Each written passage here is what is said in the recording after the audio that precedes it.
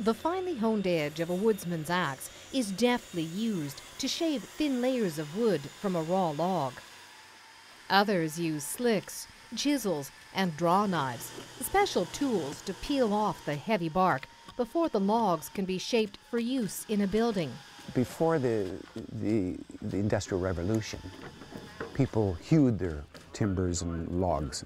For the past 20 years, master timber framer James Mitchell has been teaching the art of traditional log home construction at the Island School of Building Arts on Gabriola Island. ISBA is a school, a private school, that teaches the fundamentals of big wood construction and heavy rock building and uh, the things that we don't cover generally in the mainstream uh, vocational schools. Students come from across Canada and around the world to learn the craft of building by hand using centuries old techniques with a bit of modern technology mixed in.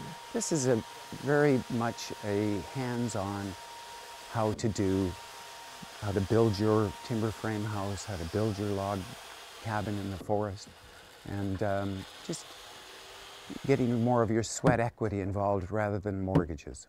James has been active in the log and timber frame industry for almost four decades through work and education, and he has authored several books on the subject. When I was a little kid, I grew up on the coast and I kicked around seaweed, for example. And it wasn't until I went traveling and I realized that they actually thatched roofs with seaweed in, in the Netherlands.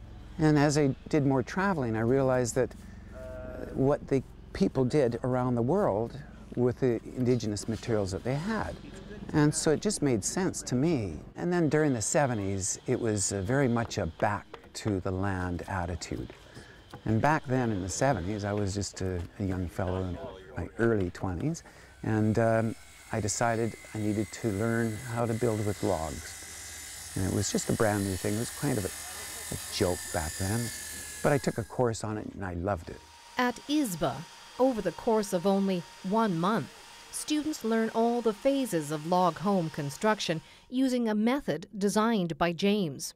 Obviously, you could learn from books, but by the time you learn from books, it's going to take a long time. So it's much easier, I think, to come and get some hands-on experience and learn how to use the tools, how to mark out the joints, and just get experience of how to do things and do them properly. Like using a chainsaw, how to use a chainsaw properly. I just didn't realise how many things you could do with a chainsaw how to sharpen tools, all these sorts of things are all very necessary. We get to teach the greatest amount of skills in the shortest amount of time.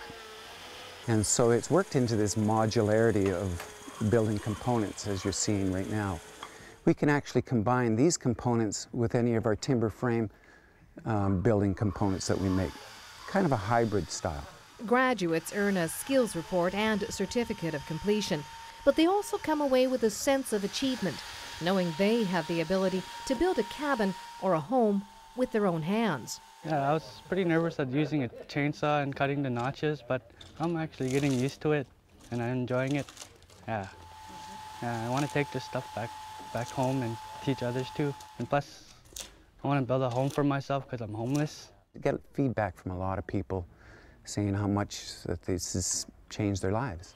The Island School of Building Arts is also involved in housing and educational initiatives with First Nations across Canada, taught by James, and it supports local housing enterprises through donations of project buildings. For Go on Shaw TV, I'm Annette Lucas.